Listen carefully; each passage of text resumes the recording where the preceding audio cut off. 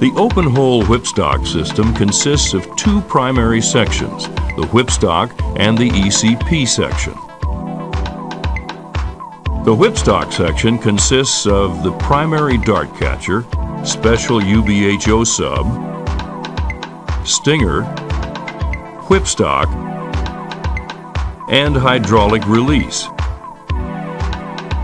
The ECP section consists of the handling sub, ECP, and float section. The BOT ECP is field proven in hundreds of applications and has the following features. Top-mounted inflation system that senses true annular pressure for accurate valve control. A rough-coated mandrel to prevent rubber element slippage that results in packer sticking. Progressive inflation to optimize mud removal and ECP wall contact and cement inflated to increase torsional ratings. With the whipstock and the ECP section made up together, the open hole whipstock is run in the hole to the kickoff point. If the whipstock face needs to be oriented, wire line is first run in the hole and stung into a UBHO sub. The two-stage dart is then pumped ahead of the cement.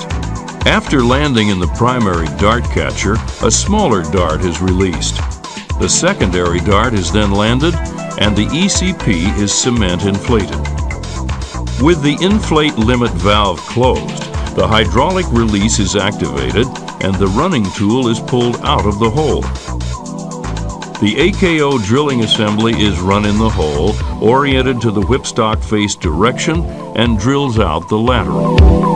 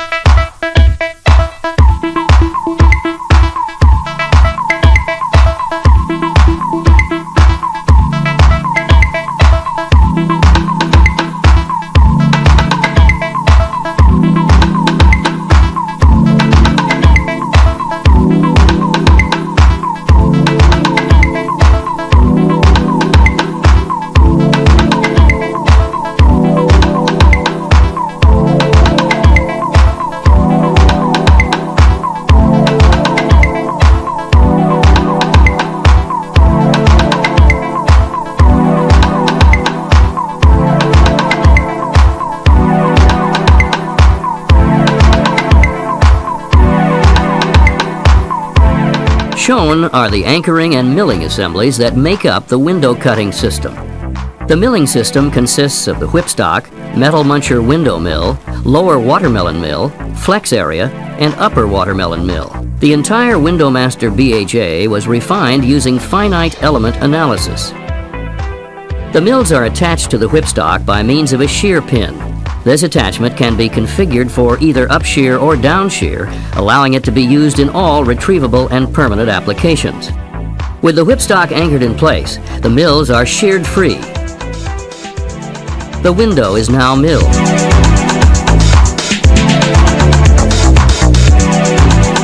The drilling assembly is run in and finishes the new hole.